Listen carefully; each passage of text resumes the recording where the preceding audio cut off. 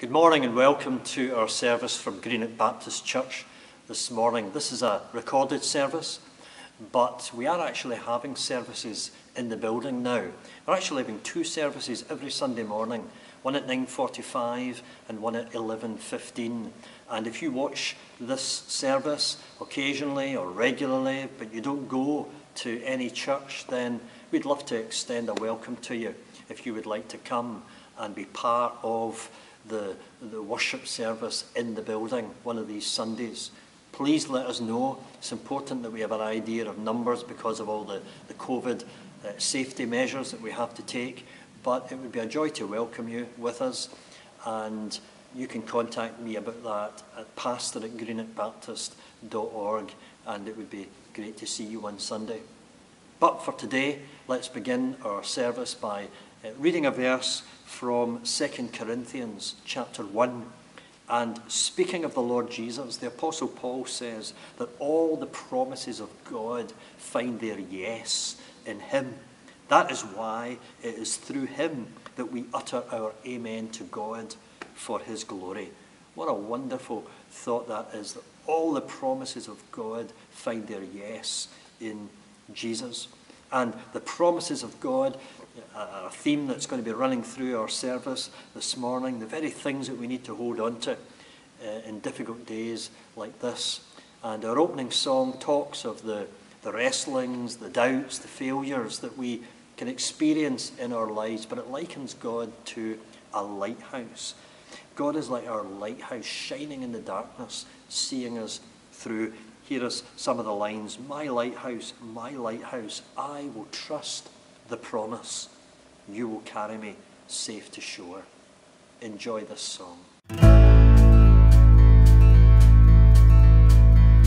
In my wrestling, in my doubts, in my failures, you won't walk out.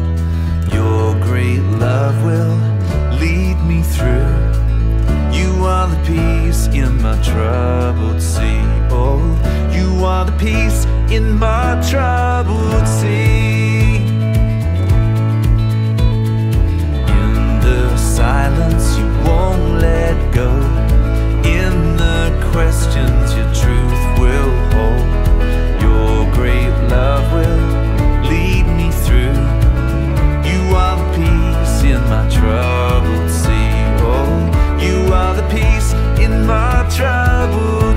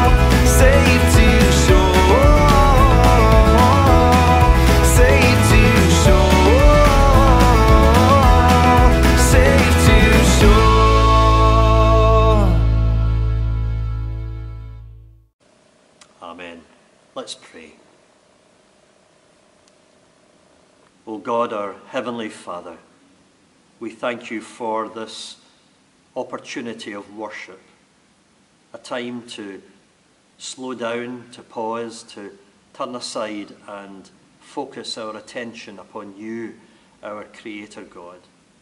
You are the eternal God. We acknowledge that today. You are the Creator of all things, and you know us, each and every one, individually, better than we know ourselves. You know, Lord, our fears, our concerns, our anxieties. And we come to you today, O God, in worship that we might know the peace that comes from being in your presence. I pray, Lord, for each and every person watching this service at home, perhaps some feeling very lonely and very isolated, not seeing anyone from week to week, finding it hard to be apart from friends and family, the normal social bonds that we cherish so much disrupted. Oh God, may you be close to them right now. Pray for those, Lord, who are struggling with poor health, with illness, with bereavement. Lord, you are the promise making God. And all your promises are yes in Jesus. May the peace of the Lord Jesus Christ, the presence of Christ, be with each and every person watching this service right now. Minister your grace and your love to them. And as we spend this time in worship, as we sing, as we hear the scriptures, Lord, may you renew within us a love and a faith for you. These things we ask in the name of the Lord Jesus Christ. Amen. I'm Going to listen to another song just now sung by Robert and Claire, two members of our church family. It's an old song, uh, Leaning on the Everlasting Arms. And, well, in days like this, troubled days, days of anxiety, uh, to know that there is a God that we can rely upon, a God we can lean upon, a God whose everlasting arms will hold us and carry us. What a, a, comforting thought. And this is a song that you just can't help singing along to. So enjoy. As you probably all know, Claire and I like to kind of dip into our past. And here's another one from the past that I'm sure you'll enjoy and you'll remember. This just remains as it we're leaning on the everlasting arms.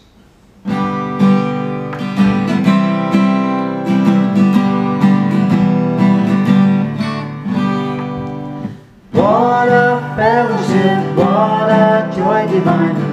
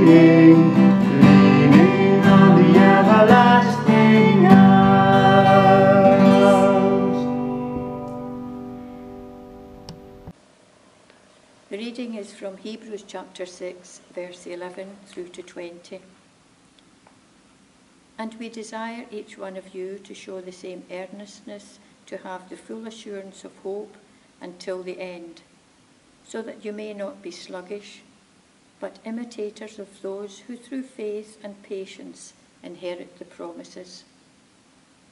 For when God made a promise to Abraham, since he had no one greater by whom to swear, he swore by himself, saying, Surely I will bless you and multiply you. And thus Abraham, having patiently waited, obtained the promise. For people swear by something greater than themselves, and in all their disputes an oath is final for confirmation.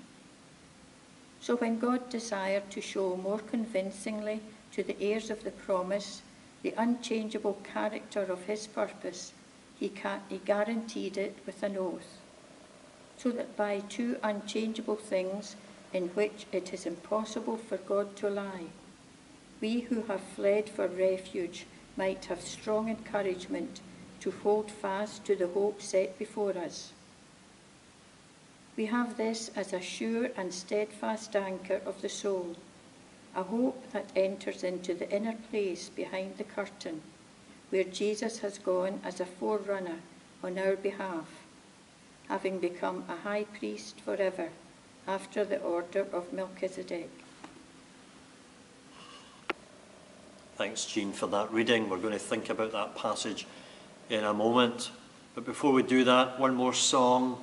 And there's a line in this song uh, that picks up on this idea, this theme of promise. It says, Nothing compares to the promise that I have in you. So hold on to that. Sing along to the song and take that line with you as we come to think about that passage of Scripture in a moment. Nothing compares to the promise that I have in you.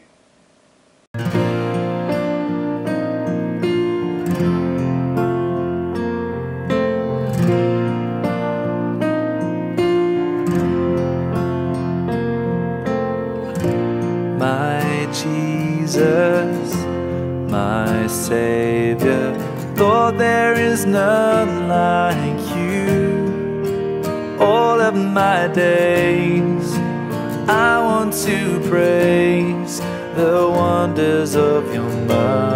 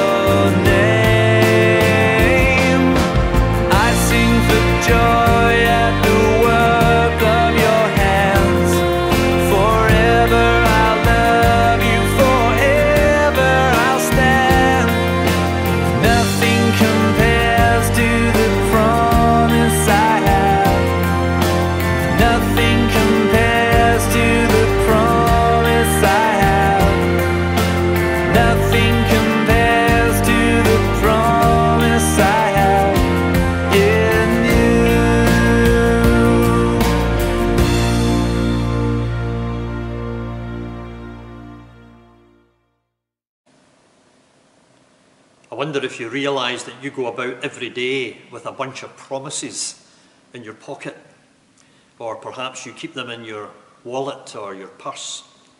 They see us through each day as we hand those promises over and we thankfully see them being honoured.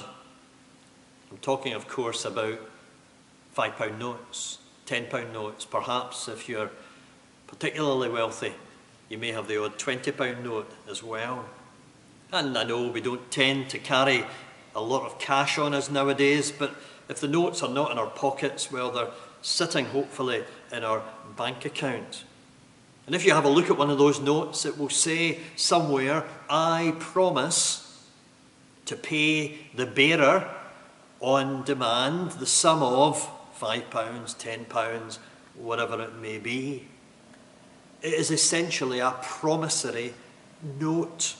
And the person who's making the promise is the governor of whichever bank has issued that note.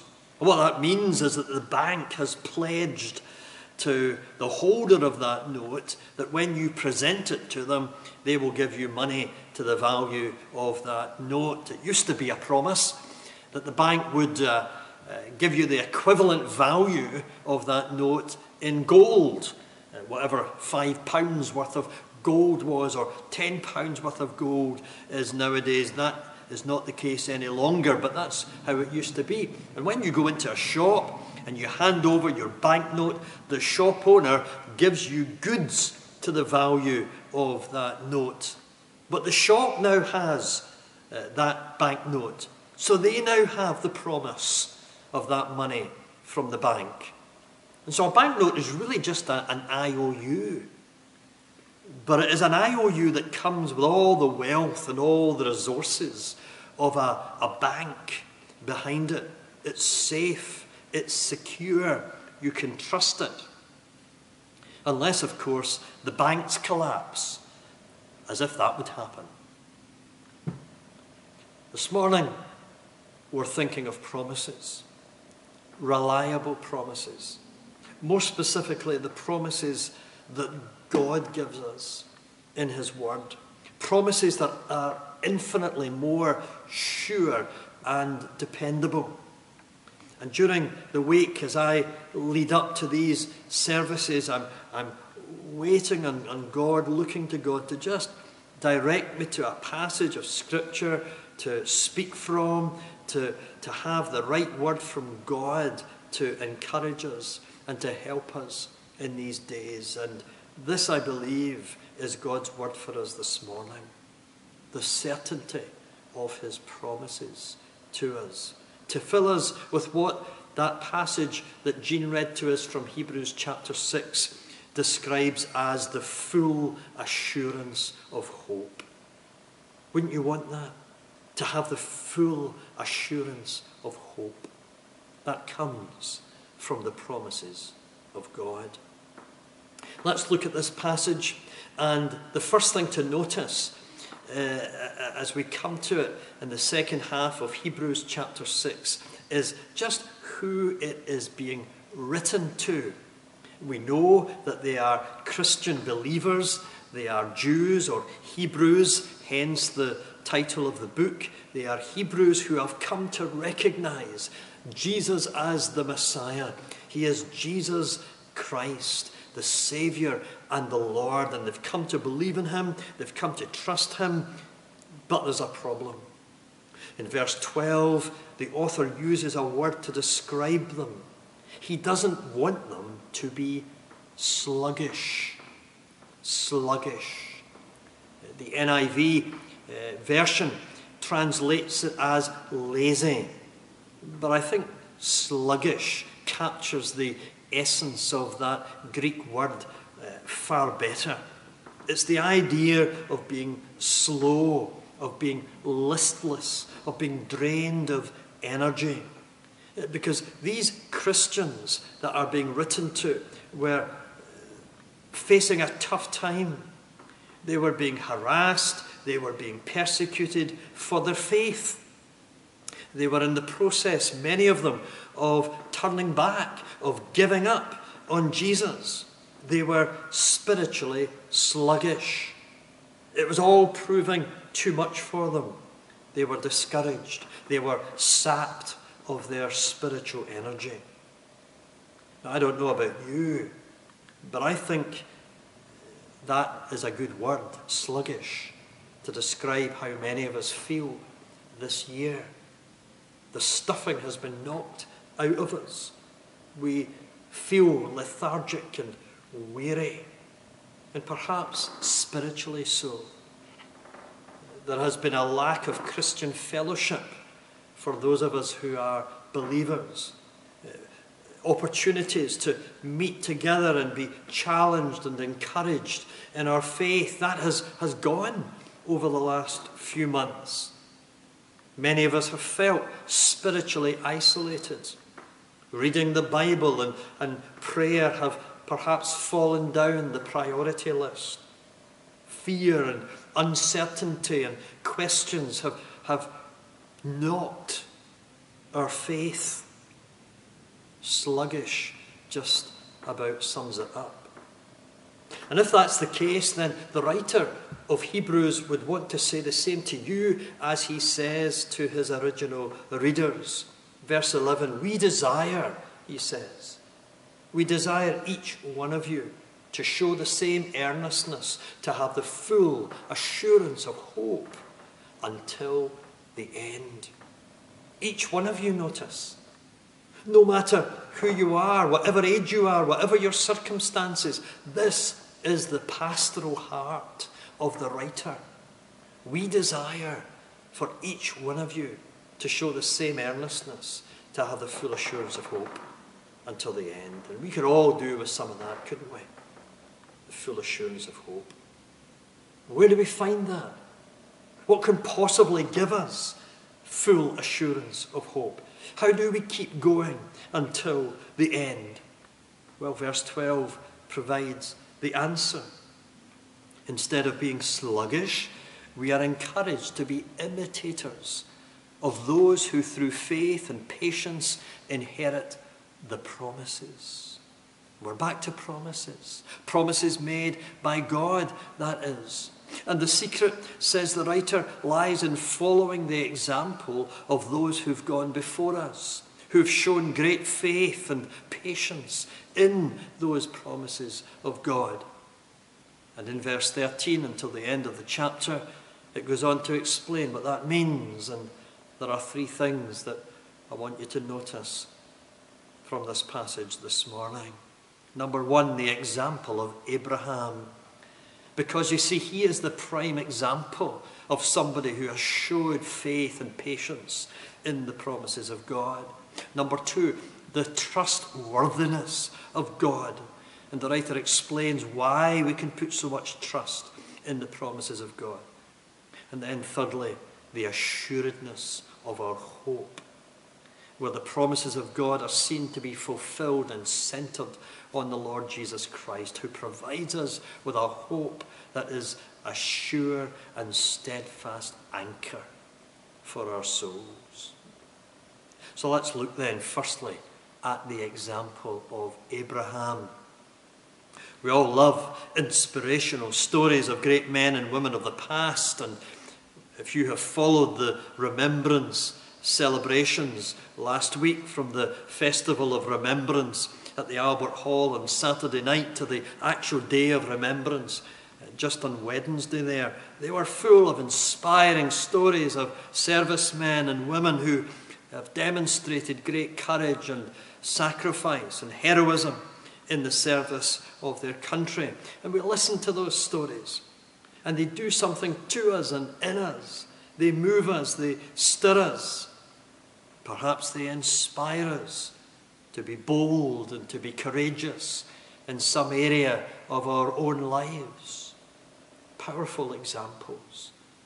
And so it is in the life of faith, in the journey of walking with God. And Abraham is uh, this well known figure who is cited here in Hebrews chapter 6, who demonstrated great patience and great faith in the promises of God. God made a promise to Abraham, we're told in verse 13. And the specific promise is quoted in verse 14. Surely, says God, I will bless you and multiply you. And that quote, that promise comes from Genesis chapter 22 in verse 17 where God speaks to Abraham immediately after Abraham has been prepared to offer his son Isaac up to God in sacrifice. It's one of the most foundational stories of the Old Testament. God had called Abraham and God had promised to bless him with children, with many, many children and that through his descendants the whole world would come to know the blessing of God. But how could that be? Abraham was an old man. His wife was old as well. Such a thing was humanly impossible. But God had made a promise. And years passed and, and nothing happened. And then Isaac was born. It was a, it was a start. But years later, God then commanded Abraham to offer up Isaac in sacrifice. It was all very confusing. Abraham's hope of descendants was being taken away from him. What was going on? And yet we read in Genesis 22 that Abraham obeyed God. And he prepared to offer up his only son, only to find God intervening to spare Isaac. And then, in Genesis chapter 22, comes the promise again to Abraham, the one that's quoted here in Hebrews chapter 6 Surely I will bless you and multiply you. The promise still stands, Abraham. And Abraham continues to believe. Or as verse 15 in Hebrews 6 puts it, and thus Abraham, having patiently waited, obtained the promise. What an example we're being given. This is the kind of person that you've to imitate, we're being told. That all through those barren years, all through those confusing times, all through the times when it, it seemed that Abraham had no idea what God was doing. He held on to the promise of God. And he obtained it. He received that promise. God's promise came good. The example of Abraham. But there's something else to give us encouragement here. Not only the example of Abraham and God's promises, but also the very nature of those promises themselves, or rather, the very nature of the one who gives the promise. And that is the trustworthiness of God. Because the promises that God makes are like no other promises on earth. Look at verse 13. When God made a promise to Abraham, since he had no one greater by whom to swear, he swore by himself. And then on to verse 16 For people swear by something greater than themselves. And in all the disputes, an oath is final for confirmation. So when God desired to show more convincingly to the heirs of the promise the unchangeable character of his purpose, he guaranteed it with an oath so that by two unchangeable things in which it is impossible for God to lie. Has anyone made a promise to you in the past week or so? Perhaps a tradesman saying that they'll be at your house on a certain day to do that important job. a colleague at work promising to pay you back that money that they owe you, a politician on television pledging some policy decision, maybe your spouse assuring you that they'll get around to that job by the end of the week that you've been on at them about for months. Promises, promises. Who can we honestly rely on? And back in the ancient world of the Bible, they also knew the problem of just taking somebody's word for something. How could that be trusted? Often it was just words. And so to give a promise some weight, some seriousness, you would back the promise up with an oath where you would swear on something or someone far more important, far more significant than yourself. And that oath, according to verse 16, would be final for confirmation. But if we're talking about God, and if we're talking about the promises that He makes, then we have a problem. Because as verse 13 explains, there is no one and nothing greater than God that he can call on to swear an oath by. So, what did God do when he gave Abraham this promise? The answer he swore by himself. There is no one greater, there is nothing higher, there is nothing more weightier, more substantial than God. He could only swear by himself. And in verse 14, we have that promise of God I will surely bless you and multiply you. But if you go back to Genesis chapter 22 and the full quote in verses 16 and 17, this is what you'll read. By myself I have sworn, declares the Lord. Because you have done this, and you have not withheld your son, your only son, I will surely bless you, and I will surely multiply your offspring as the stars of heaven and as the sand that is on the seashore. God swore by himself. By myself I have sworn, declares the Lord. There is nothing higher, nothing greater, nothing more solemn than the Lord God Himself. And so then, as verse 18 puts it in Hebrews 6, we have two unchangeable things in which it is impossible for God to lie. And those unchangeable things are God's promise and God's oath. They are unchangeable. God does not say one thing one day and another thing the next day. He doesn't change his mind. They are unchangeable. And not only are they unchangeable, but when it comes to these two unchangeable things, his promise and his oath, Hebrews 6 tells us that it is impossible for God to lie. Not only does he ch- not change his mind, but he cannot lie. It is impossible for God to lie. Impossible. Notice that. There are some things that God just can't do.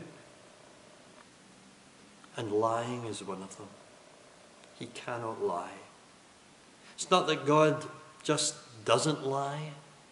It's not that God chooses not to lie. He cannot lie. It is not part of his nature. It is impossible. The trustworthiness of God. God has made promises in his word that are absolutely secure. As we look out in this world, as we seek hope, as we seek something to depend on, someone to rely upon,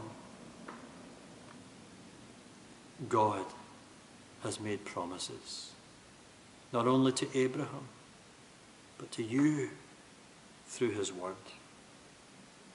And here are two good reasons not to be sluggish Imitate the faith of Abraham.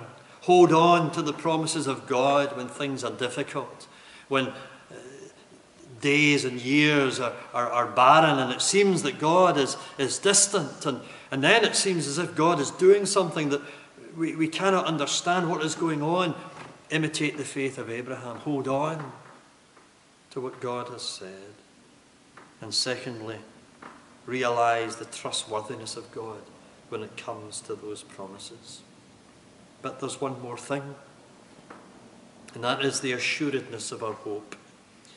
Because these promises of God find their fulfillment and their centre in the Lord Jesus Christ. Remember the verse at the beginning?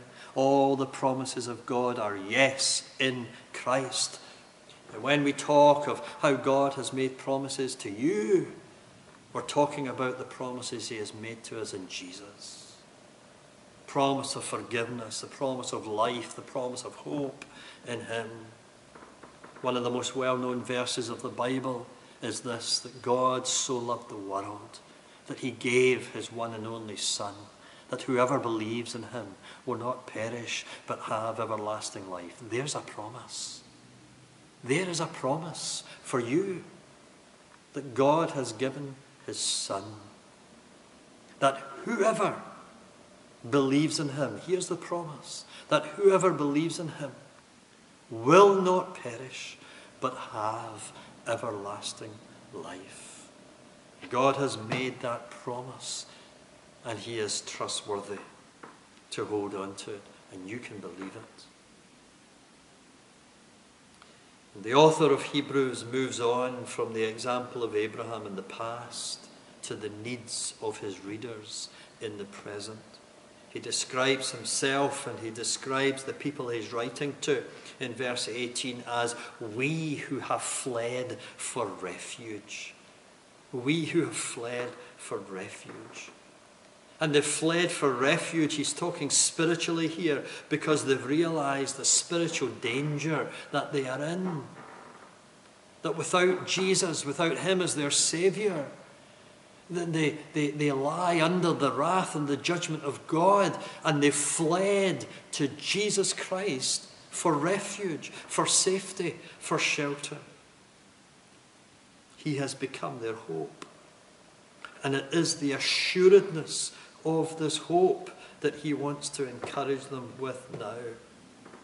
Let's pick up our reading at verse 18. So that by two unchangeable things in which it is impossible for God to lie, we who have fled for refuge might have strong encouragement to hold fast to the hope that is set before us. We have this as a sure and steadfast anchor of the soul, a hope that enters into the inner place behind the curtain where Jesus has gone on as a forerunner on our behalf, having become a high priest forever after the order of Melchizedek. What does that mean? How do we understand that? Simply this that our hope is Jesus. And Jesus is pictured here as a high priest passing behind the curtain in the holy place of the temple, into the holiest of holy places. And to these Jewish readers, they would have understood that perfectly. That there in the temple, the holy place, was a, a, a place at the very heart of the temple called the holy place. And the high priest would go in there. And the high priest would go through a curtain into the holy of holy places once a year. For that represented the very presence of God. And here Hebrews 6 says Jesus has gone there for us. He has gone there in front of us. He is our forerunner. He has uh, paved the way for us to follow him. That because we are trusting in Christ, that we too can come into the very presence of God. This is the hope that is set before us that we are to hold fast to. It is absolutely sure and absolutely certain